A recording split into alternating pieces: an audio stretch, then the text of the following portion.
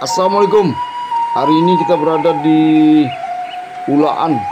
Suasana hujan lebat membuat kita berhenti dulu sejenak untuk menuju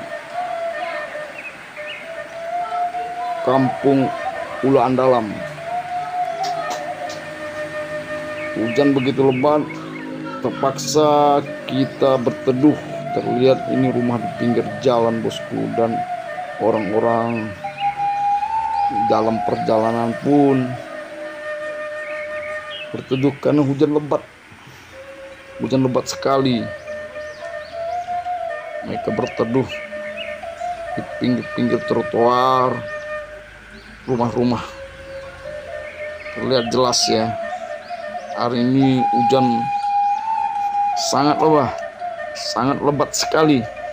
Ujung sana terlihat rumah sederhana di pinggir jalan. Suasana hujan ini sangat adem.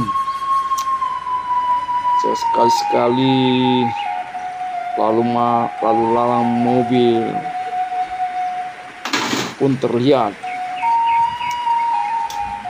Terlihat jelas ya lalu lalang mobilnya. Dan suara-suara berisik pun terdengar. Di channel hari ini mengambilnya untuk melihat pedesaan Kampung Ulaan Dalam. Kita menunggu hari hujan yang cukup lebat pada sore, pada siang ini ataupun sore hari ini.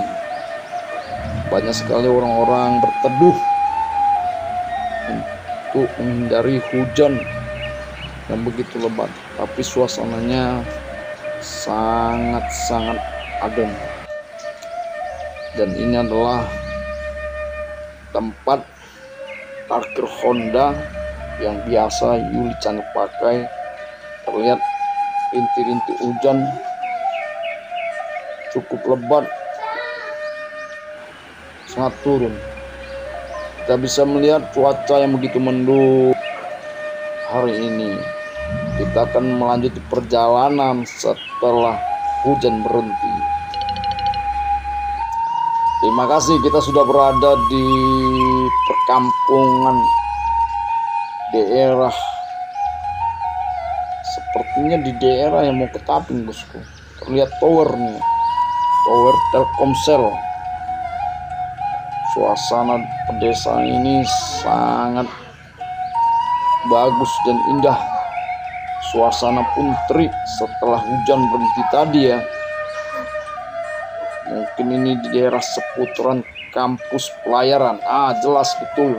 Betul sekali bosku. Ini gedung pelayaran yang berada di lokasi sepertinya daerah Taping bosku tapi agak ke dalam ya termasuk kawasan Pak Kabupaten Pariaman. Terlihat jelas pemegang gedung pelayaran.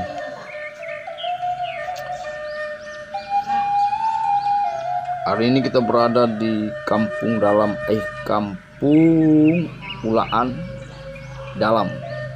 Terlihat cewek cantik sedang bermain HP bosku. Eh kita sejenak dulu.